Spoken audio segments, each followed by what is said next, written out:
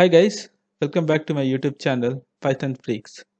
So today I'm back with yet another interesting topic and which is based upon one of the most confusing question which every fresher has to face when he or she is entering into the IT world. So we'll try to simplify this complicated question and I would request you to watch this video till the very end as this will not only give you the fair amount of knowledge about the various skills and technology which is trending in the IT industry but as a bonus tip we'll point out which two path I would suggest to a fresher if he or she is entering the IT world. So without any further delay let's start the video.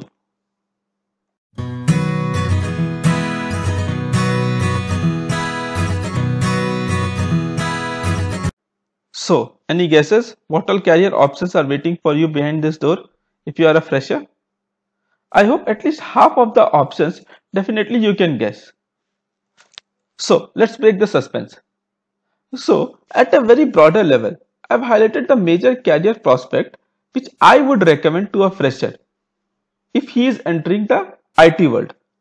And I would also request to don't just get deviated or biased with the fancy advertisement that they see or hear on internet. So as you can see, these are very, very descriptive topic and covering this entirely in one video will be a little bit difficult task. So we'll try to give you an overview of all these topics and we'll make a dedicated video on each of these topics separately in our coming videos. And I would also request you to don't skip this video as I will be discussing very shortly about the various options but this information will be very important and very valuable which you might need in future if you are entering this world of IT. So let's start with the first option which is data science and I don't think I need to explain much about how fruitful this career is presently. In 2021, we are actually totally submerged with data. And you might have seen that very popular image about the various activities that happens in one minute on internet. Like there are 4.7 millions of videos being watched, 190 millions of emails being sent, 90 million texts are being sent, etc. etc. So this will give you the correct picture what a data science career mean in 2021. And the funny part is it's increasing exponentially. Now we'll come to the main point. What does actually data scientist do? So in one line, if I have to explain, then we'll say data science or data scientist turns the raw data into valuable insight that an organization needs in order to grow or compete. Now, talking about the domain, be it finance, scientific research, health, retail, every domain needs data scientist. So this was pretty much about the data science as a career option. And if you haven't understood the entire structure of this, you don't need to worry. We'll be uploading a dedicated video on this soon within one or two days as this is the most requested video which has came to me. Now, the next one in the list is machine learning and AI. Now, like we are moving towards automation, in every field. So a lot of emphasis is, is being made on how to make machine more smarter and more humanly. And this is the reason this job profile is booming like anything. But before you directly jump into the pool, please make sure you have a strong mathematical skills. You are very thorough with understanding the com complex algorithm. And post that you have fulfilled all these requirements, then only go for machine learning and artificial intelligence. Now, the next one in the list is ethical hacking or we can also call it as penetration testing. So, as you know, security is the key aspect of every organization or application. And this is where ethical hacking or security testing comes into picture. Now, let's first try to understand one by one what is the actual uh, flow of ethical hacking. So, let's start with the first question. What does an ethical hacker do? An ethical hacker works like a hacker, but the only difference is they do it with permission. In present time, data is growing by leaps and bounds, and in that process, so is the cyber threats. So, this is where ethical hacking comes into picture. To avoid this cyber threat, we need to analyze all the threats and try to rectify it or minimize it or uh, remove it. Now, the next question is what all technical skills is required if I, if I want to go in ethical hacking? So, the first thing is you should, you should have a sound knowledge of all the operating system, be it Windows, be it Mac or Linux. All the three, you should have a very good understanding of the operating system. The second skills to have is networking, software and a sound knowledge about the application hardware. Now let's move to the next question. What is the scope of ethical hacker? We are living in a world with lots of online transaction, e-commerce website and purchases happening simultaneously. And cyber attacks are prone to happen. And such scenarios, cybersecurity is must. And being an ethical hacker, it's beneficial for an organization to look, look for professional who can behave like a hacker expose the network vulnerabilities and then try to hack that system and if they are success like if they succeed in that so they should rectify it that how to block that particular channel so this is the actually like overall scope of ethical hacker and uh, to be frank this is actually my uh, personal suggestion to go for this particular stream this stream is actually uh, very scopeful. Now, the next one in the queue is cloud computing. So, let's try to understand first what actually the cloud computing is. So, in simple terms, if I have to explain, cloud computing is actually the management of computing services such as storage, servers, data, networking, and all those stuffs over the internet and not actually storing all these things into physical storage. And the reason uh, why this is a, a very good prospect is more and more companies are turning towards cloud-based services from the traditional data-centric approach. So many career opportunities have popped up in the market. Now, what are the skills that is required for uh, moving to cloud? So first is like you should have a good amount of knowledge about the networking, storage and virtualization. Now let's talk about what are the major service provider that are there in clouds. The first one is uh, uh you might be knowing AWS, Amazon Web Services, Google Cloud, Microsoft Azure. So these are the first three common and the most widely used one. Then IBM Cloud is also there, Alibaba Cloud is also there, SAP is also there and VMware is also there. But the um, AWS, Google Cloud and Microsoft Azure, these are the most prominent one. Now, suppose if you want to uh, pursue your career in in this cloud so you should go for some certification like all the major services like uh, like uh, amazon amazon also gives some aws certification same is the case for microsoft azure and uh, same is case of gcp also. Google also provides with different levels of certification.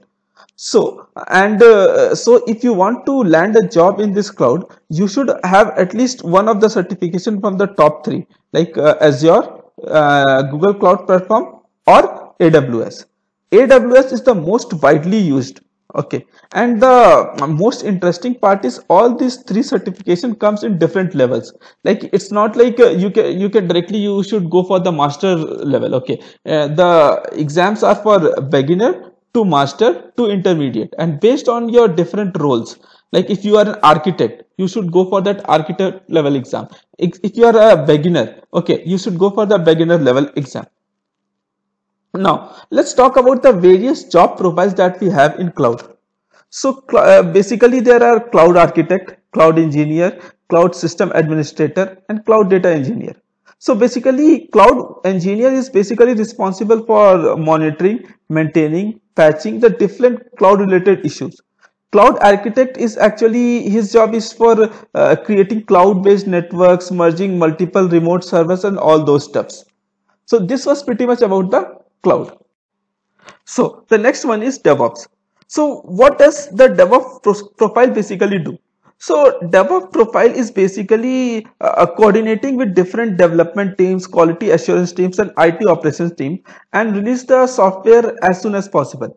uh, basically what it means in simple terms is like suppose a application is being developed or a software is being developed so to release that particular software the, like there are various teams involved in it. Like there are there is um, the actual development team who is developing that application that is there. Uh, the qa is involved like who is actually testing that uh, uh, mm, testing that particular software and giving a green signal. Then there is the it operation guys. So basically devops profile is to coordinate with uh, all this and release the uh, software as soon as possible so uh, this is actually the mostly about the DevOps profile. Now let's come to what all basically DevOps tools is required like what all tools they work on. So mostly they work on git github that is for the source code management. They work mostly on jenkins like for creating the ci cd pipeline. Uh, they work on uh, docker and kubernetes for the containerization platform and kubernetes for the this thing uh, container or orchestration and um, so this was like basically the overview of like what all tools they work on and for writing their scripts they use ansible puppet and uh, now let's come to the uh, last point. What is the scope of DevOps?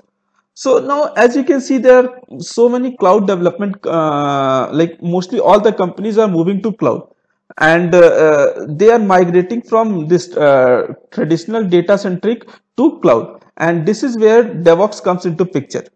So in the last two years, there has been a lot of like mostly all the companies are uh, having a separate DevOps team for this migration for this releasing this thing and running all their tests and all their uh, applications on cloud only and this all this entire things is handled by devops so the last one but definitely not the least one is test automation. So first let's try to understand what actually automation testing is. So automation testing is an automated way to perform the software testing. So what does this mean? Like in a typical environment, all the tests are executed, like the expected input and the actual output is matched, then all the results are captured for all the tests and then drafted and then all the results are combined and then sent to the respective owners. This is the entire thing is in case of manual testing. Now, the same thing can be automated like for all these steps whatever we have explained it's just like one time job we need to write the corresponding script in it script for it that can be written in Java, Python, or uh, any of the programming language. And it's just a one-time job. And all the above activities, be it uh, capturing the result, be it sending the report, that thing can be done via test automation. So we don't need to explicitly verify it and all the uh, manual efforts can be eliminated from test automation. Now, automation testing can be done for, it can be for uh, functional testing, it can be for sanity, smoke or user, usability testing, any of the above testing. Now, uh, when it comes to automation, there are different types of te uh, test automation. Like we can do for auto api automation. We can do for um, uh, this performance testing. So all these uh, uh various uh, uh, brackets are there there we can use test automation. Like if we want to do some api testing we can uh, python has uh, given various libraries for it. Okay we can use uh, make we can make use of that like that particular module. Same way for performance testing we can use jmeter or we can use load runner. So overall test automation also has a very good career prospects and this is actually the most underrated uh, career scope uh, when it comes to like when, when it comes to, uh, to job profile in the IT. So with this we have come to the end of the video and like I promised I will give my personal opinion which which two career path I would suggest to a fresher and it is uh, cloud computing and ethical hacking. I know you might be expecting data science or machine learning, but somehow I feel like these two career paths are very scopeful but are very underrated. Whereas like in current situation, everyone is talking about machine learning and data science, but these two paths are also very scopeful so this is just my personal opinion. So with this, we have come to the end of the video and hope you like the content. If yes, then please subscribe to my channel and hit the like button. And would request you again to please stay tuned because lot of interesting videos like this are on its way. Thanks a lot once again for watching the video to the very end and see you all in my next video. Bye.